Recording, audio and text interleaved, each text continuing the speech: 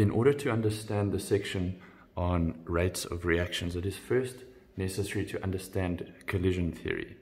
Now, collision theory explains to us how reactions happen.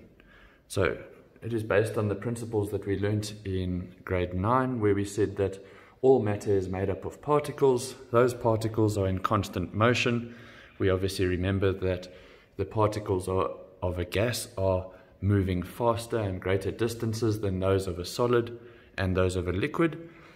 As a result of that constant motion, these particles are constantly colliding with each other. But now, in order for a reaction to take place, we need very specific conditions to be satisfied. So, in most reactions, most of the collisions we say are unsuccessful, meaning they do not lead to a reaction.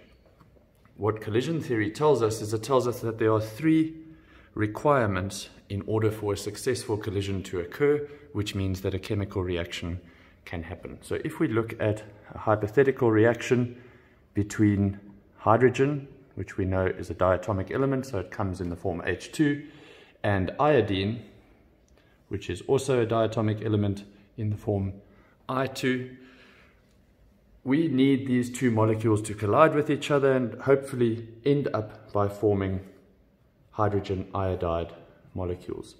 So, the first principle of collision theory says that a successful require, re, collision requires these molecules to collide with each other, which means that they must bump into each other so that there can be a transfer of electrons and a bond that can form. So that is the first condition or requirement that they must collide. Now, as we can see here, if these two molecules are to collide in this orientation.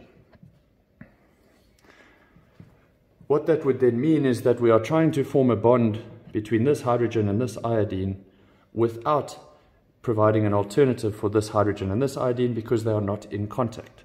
So when we say the correct orientation, what we are saying is that they must collide with each other in such a way so that every atom present is able to form a new bond. So that is what we mean with correct orientation. This over here would be an incorrect orientation. This over here is a correct orientation.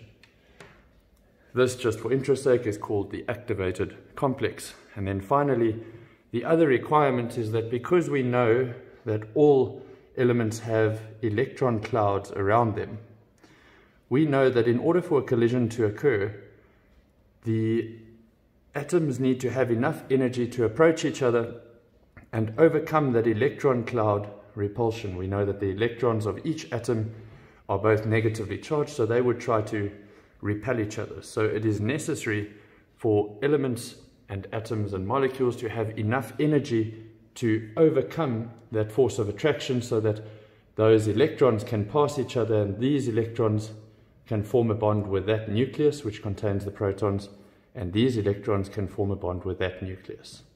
So in order for a successful collision to occur, firstly the molecules must collide. Secondly, they must collide in the correct orientation so that a bond is capable of forming for all atoms.